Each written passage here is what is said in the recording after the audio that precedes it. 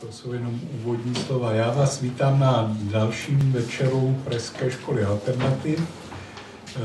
V tom letošním cyklu pokračujeme v tématu privatizace a deprivatizace veřejných statků a dnes jsme dospěli k tématu, jak se eh, tento souboj vlastně dvou principů eh, pro, promítá na životě ve městech.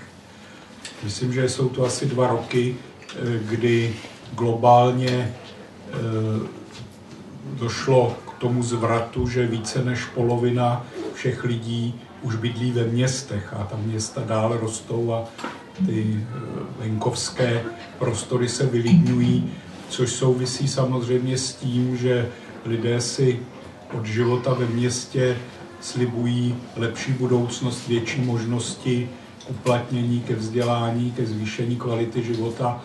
Samozřejmě zejména v těch rozvojových zemích eh, se eh, to často nenaplní, ale my vlastně i v rámci eh, toho západu nebo vyspělého světa, jak se rád nazývá, vidíme, že ta koncentrace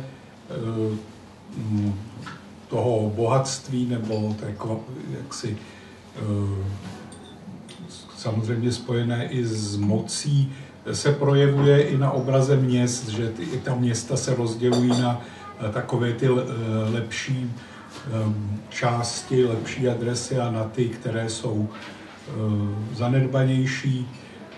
Některé ty procesy mají i svá jména, jak se vlastně proměňují jednotlivé části měst to bude jedno z našich témat, tomu se bude věnovat eh, paní Pixová v tom svém prvním příspěvku.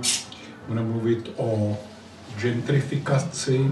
Kdo neví, co to je, tak se to dozví. Eh, a potom eh, náš druhý host, pan architekt Milunič, bude mluvit o tom, jak vlastně se plánuje budoucnost měst, o územním plánování a jak on si představuje, že by se to mělo dělat. Takže to jsou ta hlavní témata, bude zase dost času na diskusi a tím ten svůj úvod končím a předávám slovo tomu prvnímu příspěvku paní Pixové, která tady vlastně reprezentuje Prague Watch.